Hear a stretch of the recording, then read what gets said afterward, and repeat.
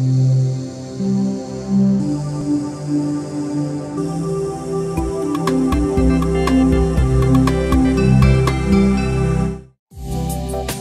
Jozo, proteklog vikenda e, je bilo posebno svečano kod vas u klubu. Obilježili ste 14 godina postojanja ženskog e, nogometnog kluba Marijan. Pa vjerujte, veliki kad, kad ovako upoređeš i ono Hajduk pa 106, 107, ovo moramo, pa onda misliš da je to milion godina. A naši tih 14 je, ja sam rekao kao neko dijete koje odgajamo i eto sada polako već e, daje neke oznake da je, da je to klub na svojim nogama Zašto sam rekao veliki, radi se o djevojkama, o ženskom nogometu koji nije svaki dan prisutan i u mediji i u društvu.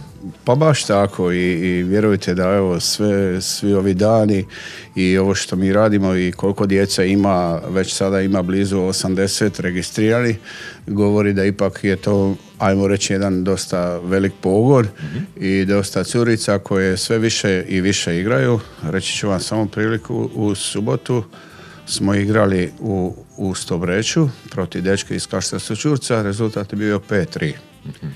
A ja sad prepostavljam da vi mislite da smo izgubili. Nije nego smo dobili. E, čestitamo. Kako je bilo na svečanosti obilježavanja? Imali ste goste, zanimljive ljude, je li? Pa eto, imali smo tako malo iznenađenja. Svi naši e, roditelji su donijeli neke kolačiće, nešto smo neki sponzora, ovako obični ljudi dobili nešto drugo, da nije baš prazni stolovi. Onda smo imali grupu Malo Vitra i, i pjevačicu Anu Leko. I Bijana je kao za jednu pjesmu iznenađenje ovaj, kao Dejan Dvori koji pjeva marijansku pjesmu, ja mislim da se tako zove, da ne bih krivo rekao Marijane, naš Marijane. I tako da su svi bili malo iznenađeni, to su malo skrivečki radili, i na kraju mislim da je bilo sve dobro. U gostina je došla ova Čapina iz Bosne i Hercegovine i oni su isto bili oduševljeni. Većinom su navijačice Hajduka, tako da su bile sretne da se nađu u poljudu a pogotovo u našim prostorijama je isto bilo drago, mi smo mi nešto malo priredili, pjevali, veselili se. Što kaže predsjednica kluba? Pa i ona je bila zadovoljna i ona je stvarno i baš smo usput eh, sa našom pjevačicom dogovorili da pjeva ovo ja sam ti jedini klub, jeli, gdje se ona oduševila i gdje ona kaže ja nemam eh, toliko sluha, ali pjeva sa srcem jer je to njen hajduk eh, i tako da... Ali svakako vašim djevojkama će ostati dugo u sjećanju obilježavanju 14 godina kluba na jedan način dobivaju na vrijednosti i u društvu i priznato je ono s čime se oni bave.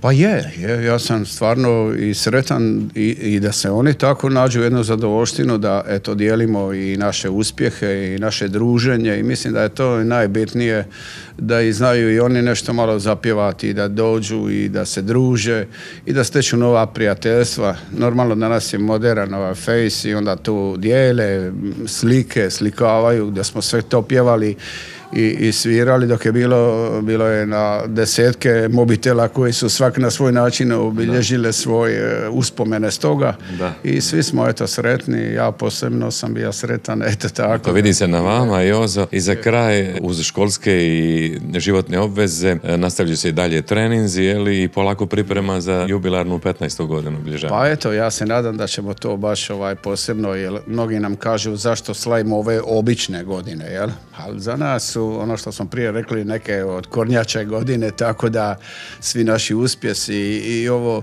da su na recimo obe mlađe ekipe su prvaci, ajmo reći Dalmacije, onda nam to isto posebno znači. Sad smo se pojačali sa jednim curama iz Mirlovi Zagore, dolaze na iz Šibenika. Mi smo u biti jedna županijska, ajmo reći, ekipa Marijana od Šibenika do ove Makarske, tu nam jedna Fati Gegulaj koja igra za reprezentaciju do 16 godina i tako da smo baš sretni, slažemo ekipicu i nadamo se da idemo na završnicu prvenstva Hrvatske.